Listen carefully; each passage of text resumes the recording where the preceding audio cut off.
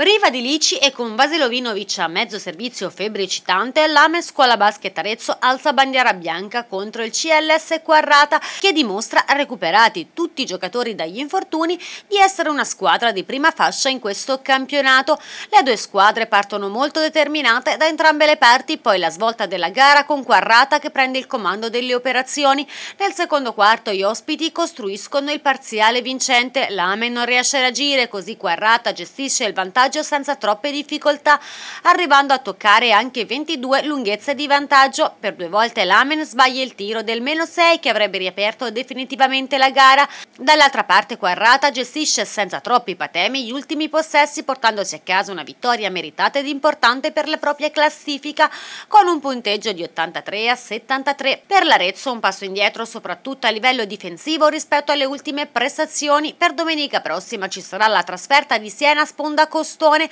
un avversario molto diverso da quello affrontato nel girone d'andata a palla 2 alle 18 al Pala Orlandi. C'è da capire che con queste squadre qua che sono più forti di noi non ci possiamo permettere di regalare un quarto intero, nel secondo quarto abbiamo subito 31 punti. E io lo dico dall'inizio dell'anno, purtroppo ancora troppo spesso non ci riusciamo, noi siamo una squadra che deve vivere di difesa, non di attacco e se concedi 31 punti, noi non ne abbiamo 31 punti in un quarto nelle mani, diventa veramente dura.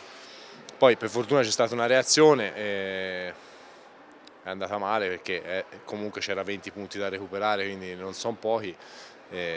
testa alla prossima, ma cercando di capire che dobbiamo difendere. Se pensiamo di, di vincere le partite a, a livello offensivo, con le prime 6-7 squadre del campionato non possiamo vincere.